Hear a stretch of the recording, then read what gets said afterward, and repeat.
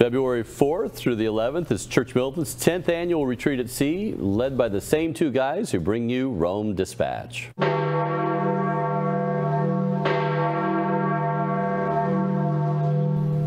Join us with the latest from the Eternal City, Church Militant's Rome correspondent, Dr. Jules Gomes. Jules, there won't be a Rome Dispatch put out for the entire week of February 4th through the 11th because both of us will be giving conferences on Church Militant's 10th annual retreat at sea. Are you looking forward to a change of scenery and a change of pace while still working to sanctify souls?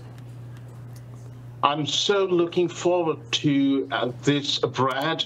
Uh, spending time with uh, people who truly love the Lord Jesus Christ, who truly love the church, uh, with people who are willing to uh, give their time and money and come to this retreat on sea to be nourished by the sacraments and strengthened by the word of God to be, uh, you know, given that vision that we all need for fighting this battle as the church militant.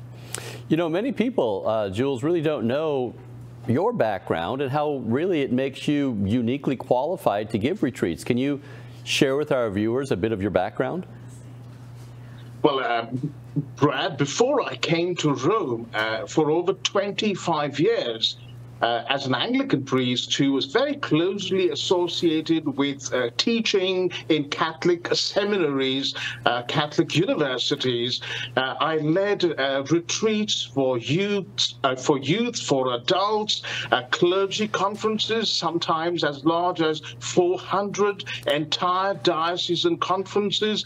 I've led retreats and taught at these conferences in the United States, in India, in England. England, in Israel. And uh, uh, this is something that uh, the Lord, to his credit and for his glory, used uh, you know me mightily in this sort of ministry. And uh, it, it's something that uh, it has brought me, you know, I've been privileged to do, humbled to do, and has brought me a great deal of vocational satisfaction, if I can use that term. Yeah, and on, on my own part, the uh, I was with the Franciscans uh, 30 years ago, uh, and so for, for 22 years, giving conferences, talks on scripture, uh, adult catechism, giving talks on uh, Franciscan spirituality and all this just uh, on a regular basis for many, many years. Went to the seminary and got two postgraduate degrees in theology and everything. So I'm very at home uh, talking with people, and, and I plan on doing that too outside of the conferences, uh, uh, chumming up with all the good people out there, learning from them and uh, sharing experiences, what's going on in the church on a heart-to-heart -heart basis there. So I'm, I'm, really looking forward to it as well. Jules, why are you really able to give the conferences, the specific conferences that you're going to be giving, and can you give people a little bit of glimpse into those particular talks? Well, I, I spent uh, almost 10 years of my life in postgraduate uh, research and study. Uh, four years doing a Bachelor of Divinity, two years a research Masters of Theology, specializing in the Old Testament, and then uh, three and a half years at the University of Cambridge, finishing my doctorate there interestingly, uh, during all these years, I never, uh, you know, closeted myself as uh, in, in, a cocoon as an academic, but always saw uh, theology and study of scriptures as a means to an end, uh, uh, not writing some book that will end up in, you know, another scholar's library, though that is a very valuable ministry, but wanting to reach the person in the pew with you know, the scriptures with the word of God. Uh, and uh, that is something that uh, is you know, uh, what I'm going to uh, put into practice for this particular uh, retreat that we have, going deep into the scriptures and bringing our great treasure, as Psalm 119 says, you know, open my eyes, Lord, that I may see wonderful things in thy holy scriptures, in thy law and uh, bringing this out so that we can rejoice uh, as people who have found great spoil, great treasure, great bounty from God in His holy word. Yeah, and for myself as a Franciscan, uh, understanding joyful suffering, uh, the Holy Spirit is, of course, uh, part of the theme for the Retreat at Sea, and I'll be um, blending together the Holy Spirit and suffering, the Holy Spirit and, and evil in the world, uh, the Holy Spirit really uh, uh, how that transforming us continually.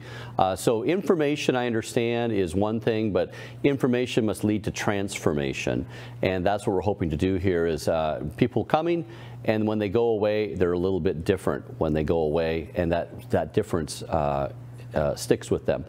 Let's hear uh, really from some folks who've attended past Retreats at Sea and hear what they had to say, what it really did for them.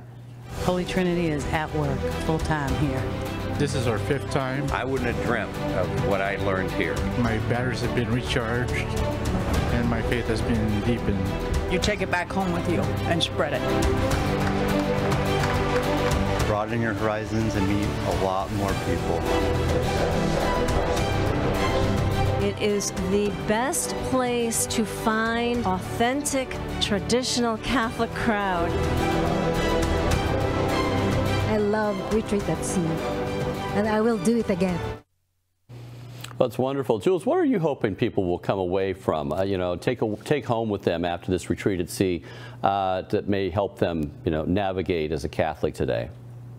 Uh, Brad, you talked about uh, our theme uh, the, on the which is the Holy Spirit, and uh, the joy, the you know exhilaration you see on the faces of these people who uh, attended our previous retreat. It's very clear that they experienced the Holy Spirit. The Holy Spirit has ministered to them and uh, uh, I'm talking about, you know, taking people through the Old Testament, what the Old Testament has to say about the Holy Spirit.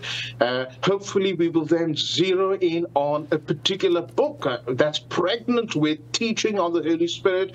I'm thinking of the book of Ezekiel at the moment. We then will look at the New Testament, uh, go through the ministry, the person, and the work of the Holy Spirit, the blessed, you know, the third person of the Holy, Blessed, and undivided Trinity. And then we zero in again in the New Testament on a book uh, like uh, the Acts of the Apostle, which some scholars call the Acts of the Holy Spirit. But the Holy Spirit revolutionized the lives of people who gave themselves to Him. And I'm really looking forward to the Holy Spirit acting in great power and might and glory and revolutionizing all of us who are on that retreat, turning our lives upside down, uh, bringing something new out of us so that when we go out, we can continue to cultivate in a greater measure uh, the fruit of the Holy Spirit love, joy, peace, patience, kindness, goodness, gentleness, faithfulness, self control, as Paul says in Galatians 5.22. So, you know, come, Holy Spirit, fill the hearts of your faithful people and kindle in us the fire of your love. And as this great Psalm 104 says, send forth your spirit and they shall be created, and thou shalt renew the face of the earth. Renewal is what I'm looking for. Well, Jules, the retreat hasn't started yet, so you want to just uh, keep that fire simmering until you get there, okay? Uh, yeah, for myself, you know, I, I, focus on, you know, no pain, no gain, but really in Catholic terms, it's no cross, no crown. And the Holy Spirit, how he doesn't necessarily steer us away from crosses, but it helps us to put down our own self-imposed crosses so that we can carry the cross of Christ, carry it joyfully, and carry it fruitfully uh, so that we will uh, be uh, more Christ-like in this lifetime and, and with him more closely for all eternity. So join us for the 10th Annual Retreat at Sea. For more information, click on the link in the description below. And Jules, looking forward to visiting with you and our fellow Catholics who will be attending. Same here, Brad. Until then. Thanks again for watching today's episode of Rome Dispatch. This show is brought to you by donors like Real Estate for Life. If you're looking to buy or sell a home and want to support our mission, visit realestateforlife.org. Again, that's realestateforlife.org. Be sure to tell them Church Militant sent you. God bless.